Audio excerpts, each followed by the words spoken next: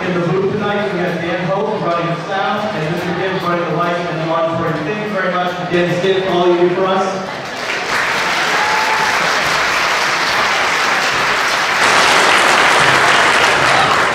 Our music department is also a unit, and we function together, and we just are great, we're, we're grateful to have each other.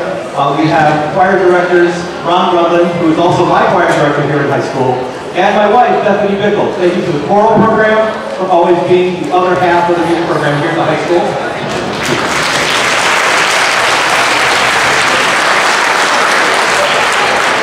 To our elementary music teacher, is she here tonight? Mrs. Fitzpatrick, usually sits right up there, who gets the kids love the music all the way through fifth year, and we just benefit from that. Thank you, Mrs. Fitz, for all you do.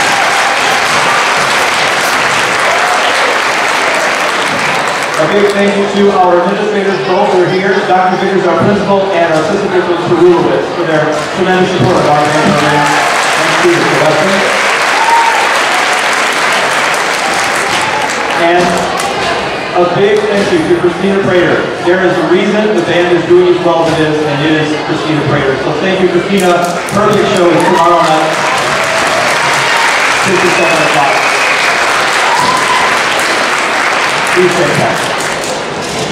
We will conclude with a Trans-Siberian Orchestra song called Wizards in Winter. As soon as the symphonic band is done setting up the chairs, I think they're about done, we'll have the we will have a concert band join us. Now's a good time to get one of those raffle tickets, so think about that. Popcorn's in the lobby tonight. If you'd like to get some popcorn, Jackson Popcorn Company here, great gifts. If you pre-order popcorn Poinsettias after the concert, you'll go this side of the stage, and a helper will direct you backstage to our jazz room, the old video studio. That's where you can pick up your pre-ordered poinsettias and popcorn. And if you have everything and everyone with you, you can actually go right out that door to the parking lot if you want. There's easy access for your poinsettia orders. Thank you very much. I think, are we about ready, Symphonic? Kind of? Okay.